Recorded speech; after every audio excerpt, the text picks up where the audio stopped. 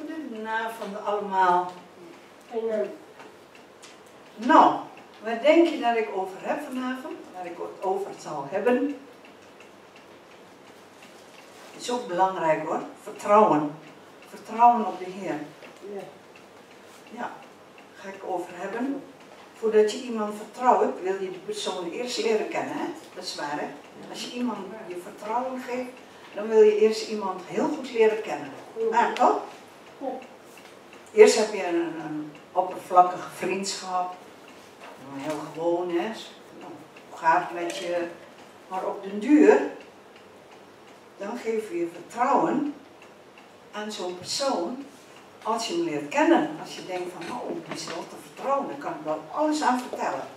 Zwaar, hè? Weet je dat daar een lied over is? En ik had zo gehoopt dat Erna vanavond dat lied ging zingen. Maar ze had ook een ander lied over vertrouwen. Dus het maakt dan niet zoveel uit, hè? Eh, hoe heet dat eh, lied toch weer? Even kijken hoor. Wie vertrouwen op de Heer is als de berg Sion, die niet wankelt, maar voor altijd blijft. In de Bijbel staat voor altoos blijft. Ja, weet je, je hoopt altijd op iemand die sterker is dan jij. En dat geeft een gerust gevoel. Dat wil iedereen, hè? Die wil altijd iemand hebben naast je die sterker is dan jou, waar je alles aan kwijt kan. En dat is onze Heere God. Ja, daar kan je alles aan kwijt. Nou, ze zeggen ook wel eens mijn hartvriendin.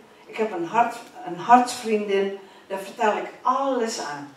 Om mijn hartvriendin, dan kan ik alles kwijt. En zij aan mij. Maar voordat ze zo ver zijn, moesten ze elkaar ook leren kennen eerst. Ja, toch?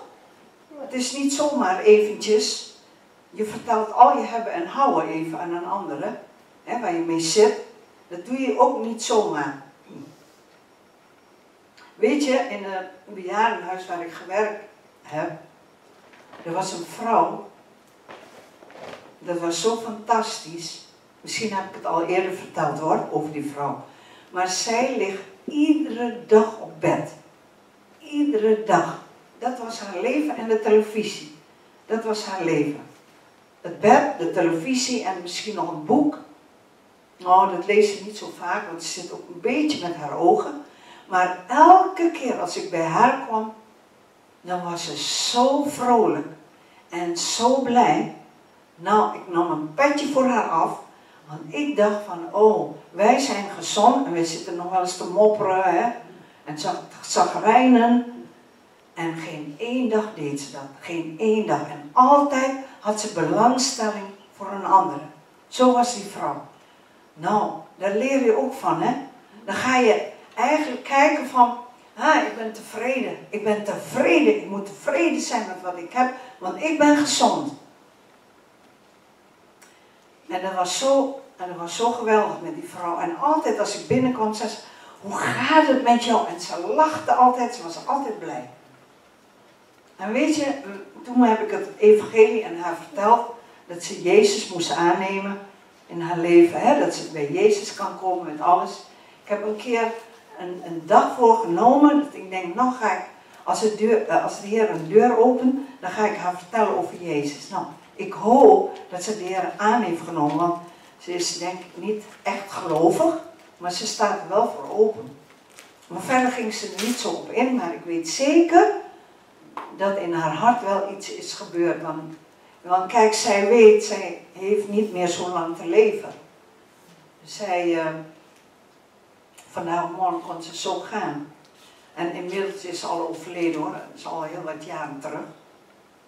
Maar zulke mensen heb je nog, die zijn zo hulpbehoevend en ze denken nog aan een andere. Ja, dat is geweldig hè? En dat vind ik ook een, een voorbeeld, voor, ook voor christenen hoor. Het is niet alleen maar voor de gewone mensen die daar komen, ongelovigen, maar ook voor de gelovigen. En uh, dus heel veel problemen kunnen opgelost worden als mensen God kennen in hun leven. Weet je, Er was ook nog een mevrouw die was hulpbehoevend en die zat in een rolstoel en ze kan niet altijd naar buiten. En ze kan geen boodschappen doen.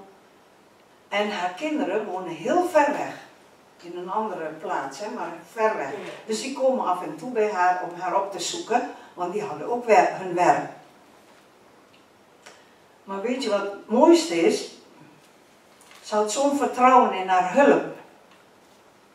Want die leerde ze eerst kennen natuurlijk, dat deed ze in het begin natuurlijk niet hè. Ze leerde haar, haar hulp heel goed kennen.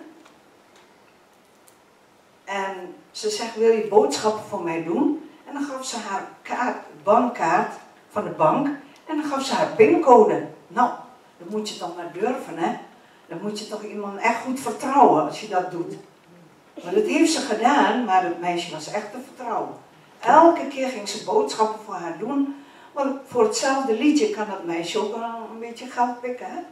Met die pincode. Ik denk, nou dat ziet ze toch niet, denk ze, voor boodschappen. Maar nee hoor. Helemaal uitgesloten. Zo was het te vertrouwen. Gelukkig heb je nog mensen in de wereld die te vertrouwen zijn. Hè? Dat is toch fijn? Want ze zeggen, eh, de christenen zeggen wel eens, oh die wereld, als je ziet op de wereld, hè, oh wacht, uh, allemaal narigheid. En, uh, maar ik ontmoet ook mensen, ik ontmoet ook mensen die nog oprecht zijn, die liefdevol zijn. Ik ga wel eens naar de winkel en dan kom, kom ik zo'n vrouw tegen en die groet dan vriendelijk, terwijl ik haar helemaal niet ken. En sommigen die beginnen zomaar te praten. Van, hè, vind je ook niet dat het zo warm is? Dat vind ik gewoon leuk. Maar je krijgt soms open deuren om van de Heer te vertellen, dat weet je niet, hè? En de Heer is te vertrouwen in alles.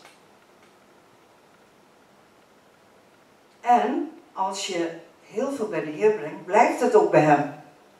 Het gaat niet naar derde of vierde. Ja, God kan je altijd vertrouwen. Bij God is alles veilig, wat je Hem toevertrouwt.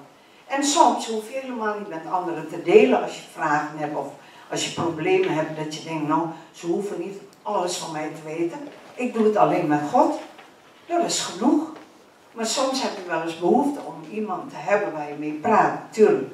een goede vriend of vriendin, dat is waar. En daarom is het ook uh, heel goed om kennis, veel kennis te hebben uit het woord van God, zodat je ook zijn belofte gaat leren kennen uit de Bijbel. Dan weet je wat zijn wil is voor je leven en dat geeft ook vertrouwen. Ja, bij God kan je alles kwijt, voor 100%. Amen. En als je iets bidt tot God, zegt de Bijbel, dan geeft Hij jou geen steen voor brood. Hè? Dat weten we ook. En hoe vaak komen mensen soms bedrogen uit, hè? vooral in de, in, de, in, in, in de business, hè? in de zakenwereld. Hè? Hoe vaak zijn mensen daar bedrogen uitgekomen? Dan gaan ze een deal doen met een andere, uh, zeg maar, filiaal. En, en die andere, die, die heeft zoveel geld verbruikt en in één keer is hij failliet. Dan zijn ze niet te vertrouwen. Dat is in de wereld heel vaak. Dat ze niet te vertrouwen zijn. Dat hoor je ook wel.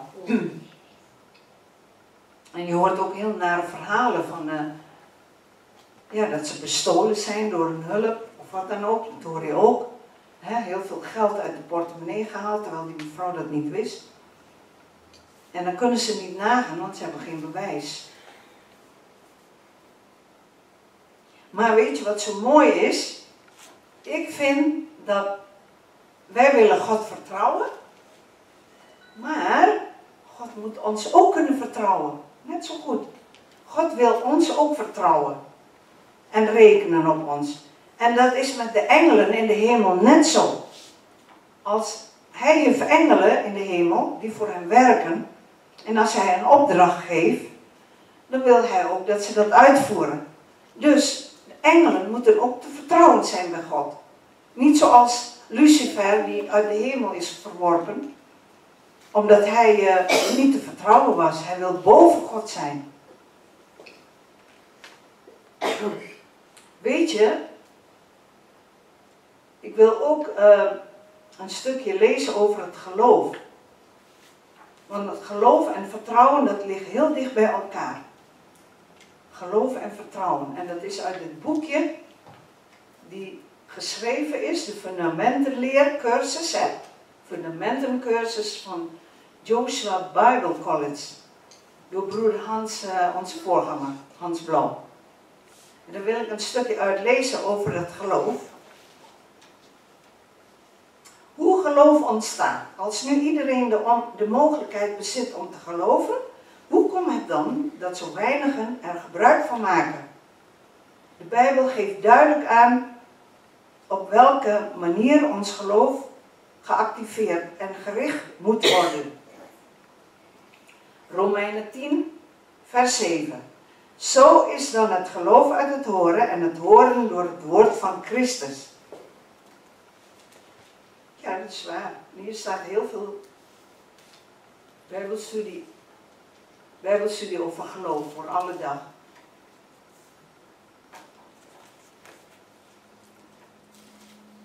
Dit is ook hetzelfde met de vertrouwen op God. Psalm 22, vers 6. Tot u hebben zij geroepen en zij waren gered. Op u hebben zij vertrouwd en ze zijn niet beschaamd. Nou, God vertrouwde zijn volk toen Mozes zijn volk uitleidde uit Egypte. Hè? Maar heel veel hebben niet op God vertrouwd, waardoor ze zijn omgekomen. Ze wilden hun eigen weg gaan, ze hadden hun eigen inzicht, hun eigen wil. En daardoor zijn ze niet gekomen naar het beloofde land. En, en God kon ze niet vertrouwen. Dus ons vertrouwen en geloof kunnen wij daarin gaan oefenen, uitoefenen. Hè? Dus door het woord van God te kennen, dan word je steeds sterker daarin, in je geloof en in je vertrouwen.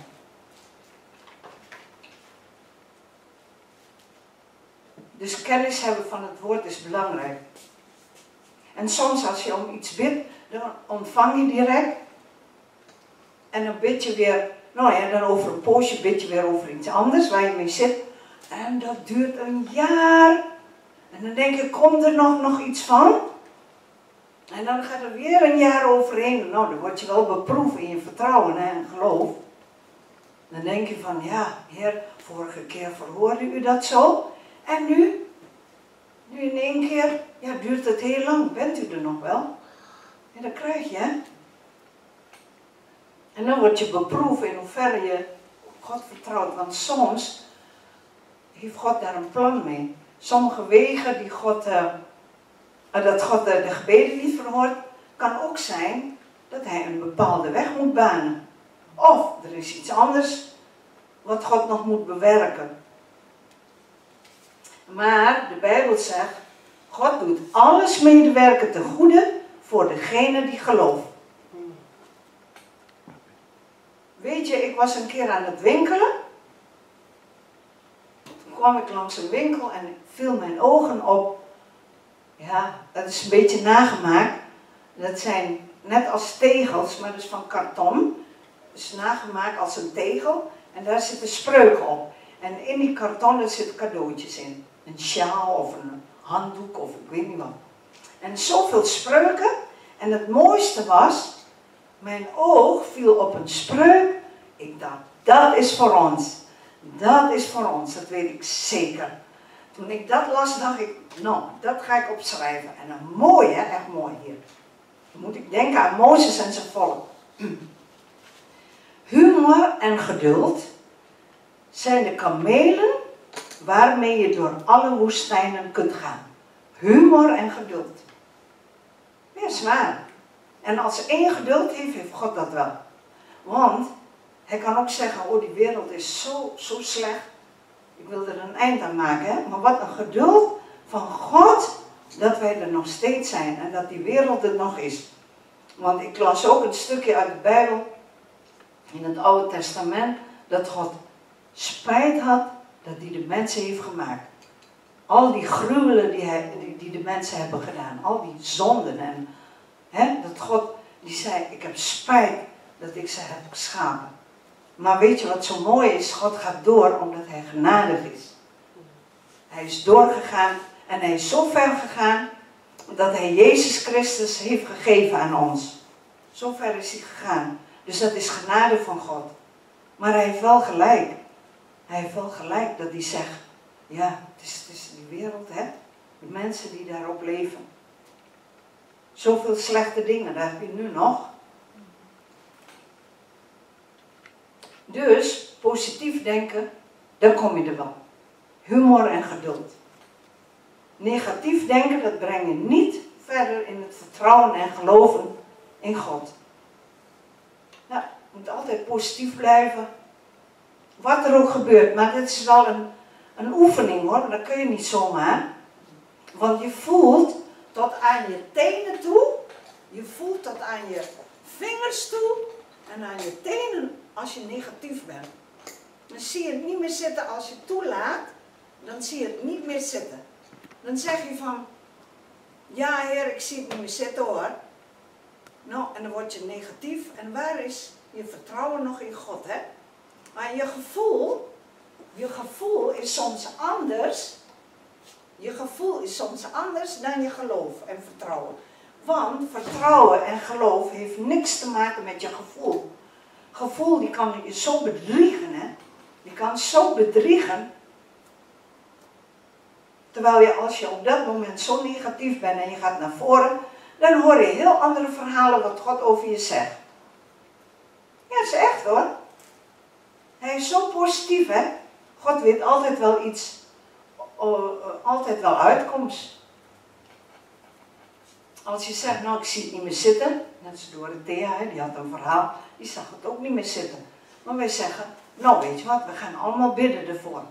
Maar op dat moment zie je ook niet, je weet niet wat God gaat doen nog.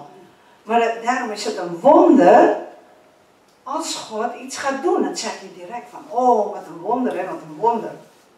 Net als dat lied hè, wat een wonder dat ik meewerken mag. Nou, wat een wonder dat ik mag vertrouwen op God. Is zo. Weet je, ik kende vroeger een zuster. En ze zegt tegen mij, mooie boel is ze dan. Mooie boel hoor van God. Ja, dan geeft ze hem de schuld. Hè. Ik heb zo vaak mensen horen uh, God de schuld geven. Hè. Zo vaak zien ze niet meer zitten, want ze denken, oh God, die kan toch alles, waarom doet hij dat niet bij mij? Maar ze vergeet één ding, dat we ook strijd hebben hier. Hè? Dat er een vijand is, dat vergeet ze. Ze zegt, nou, ik was zo blij in het begin. Ik begon Jezus aan te nemen, ik werd zo blij. Nou, ik kan wel springen en dansen. Ik denk, nou, mijn leven gaat op, op rozenwater. Ja, op vleugels, heerlijk. Want God is er toch en die, die helpt mij met alles. En ik word alleen maar gezegend en er zijn geen nare dingen meer. Toen dacht ik, oh, ze leest de Bijbel niet goed. Want in de Bijbel staan ook mensen op. er staan ook verhalen over mensen die strijd hebben hoor. Maar dat vergeet ze even dan. En toen zei ik, hoe zit het dan? Dat, dat u zegt, het is een mooie boel. Nou, zegt ze, eerst gaat God je lekker maken. Dan moet je naar voren en dan kom je tot bekering en je, je, oh, je bent helemaal uit de bol en je bent blij. En na een jaartje en na een paar jaar, nou, mijn kinderen zijn ook bekeerd, nog allemaal narigheid, allemaal rotzooi. Allemaal narigheid.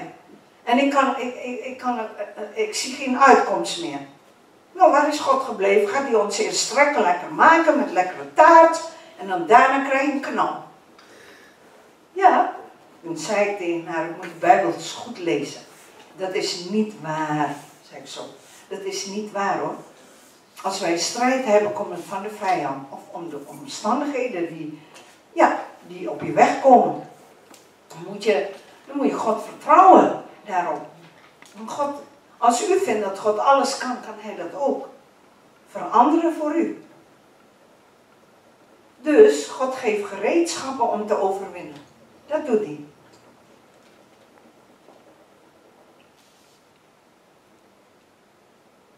En weet je wat ik zo mooi vind? Er is een vrouw uit de Bijbel, dat vind ik toch zo'n mooi verhaal. Dat is Esther. Die vind ik zo'n dapper vrouw, hè. Ze komt voor haar volk op. En dan moet ik denken aan Jezus die ook zijn voor, voor ons opkomt, voor onze zonde. En dan vind ik dat bij Esther ook. Ze werd later koningin, hè? Koningin Esther. Dat vind ik zo'n mooi verhaal. Jullie kennen dat verhaal wel. En dat ze haar volk ging redden? Dat ze naar die koning ging. Nou, dan moet je wel echt moed en vertrouwen hebben, zoals Esther, om dat te doen. En als je het verhaal van Jozef leest, nou die broers waren ook niet te vertrouwen. Oké, Jozef die, uh, die maakte ze eerst lekker en jaloers. En natuurlijk had hij niet moeten vertellen van die droom. Daar werden die broers jaloers van. Maar om hem helemaal in een kuil te, uh, te zetten en, en ook nog te verkopen, dan ga je toch wel een beetje ver, hè? Dus hij kon zijn broers ook niet vertrouwen. En dat was hetzelfde met Simpson. Dat was ook hetzelfde verhaal. God vertrouwde hem toe waar zijn kracht vandaan komt. Die lange haren, hè, of lange vlechten. En als dat geknipt wordt, dan, uh, ja, dan is het gebeurd. En dan mocht hij aan niemand vertellen. Maar hij liet zich misleiden door een, ik denk wel een mooie vrouw. Ja, schoonheid heeft ook wat te maken met misleiding. Want ze zeggen wel eens in de wereld, hè, het oog wil ook wat. Weet je? Maar bij God gaat het meer om het hart. En uh, nou, dat wil niet zeggen van, nou, als het toch om het hart gaat, ga ik maar als een slons lopen door het leven. He, maakt mij niks uit als ik gaat in mijn kleren heb. Of, zo is het ook weer niet. Ja, en zo was het ook met Simpson. Simpson die, uh, ja, die was toch later niet meer te vertrouwen. Dat is jammer. En, en Jezus had ook een, uh, bij zijn discipelen, uh, had Judas, die was ook niet te vertrouwen. Die ging hem ook verraden. Psalm 125 van 1 tot en met 2. Dat is net als het liedje wat ik net heb voorgelezen. Wie op de Heere vertrouwen zijn als de berg Sion. Die niet wankelt, maar voor altijd blijft. Rondom Jeruzalem zijn bergen. Zo is de Heere rondom zijn volk van nu aan tot in eeuwigheid. Dus de Heer is rondom jou als een berg. Dat moet je weten. Als je moeilijk hebt, zeg je, oh ja Heer, u bent rondom mij. Ja, dat is waar. En op Psalm 126, vers, vers 5 en 6. Wie met tranen zaaien, zullen met gejuich maaien. Hij gaat al wenende voort die de zaadbuilen draagt. Voorzeker zal hij komen met gejuich dragende zijn schoven. Ja, misschien heb je verdriet in je leven of er is iets naast en je denkt alsmaar, oh er komt geen eind aan, er komt geen eind aan. Maar als je dit leest, komt er wel een eind aan. Wie met tranen zaaien, zullen met gejuich maaien. Misschien heb je al zoveel meegemaakt dat je denkt, nou ik ben wel sterker uitgekomen daardoor. En daardoor heb ik meer vertrouwen in God gekregen. Nog prijs Heer als je dat hebt. Maar zijn belofte, dat is, dat is echt waar, dat is je steun hoor. Als je ergens mee zit en je leest de Bijbel en God heeft dat beloofd en dat beloofd aan zijn kinderen. Dan ga je dat in je opnemen en dan zeg je, Heer, ik ga er niet meer mee zitten, want u hebt dat beloofd. U zult verhoren. En daarmee wil ik jullie bemoedigen. Ik wens jullie een fijne week. God zegen.